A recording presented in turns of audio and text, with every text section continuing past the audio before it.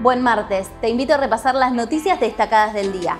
Esto es lo que tenés que saber. Poblador de Gorrofrigio perdió todo y salvó su vida de casualidad en el temporal de viento Venancio Antihuil se encontraba cuidando sus ovejas cuando las intensas ráfagas volaron el techo y desmoronaron las paredes de su vivienda.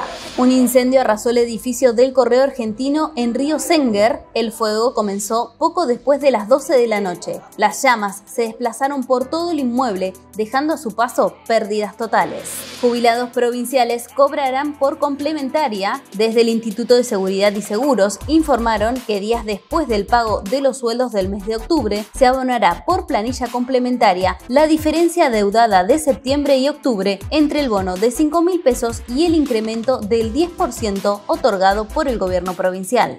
Más información en www.diariojornada.com.ar y también en nuestras redes sociales.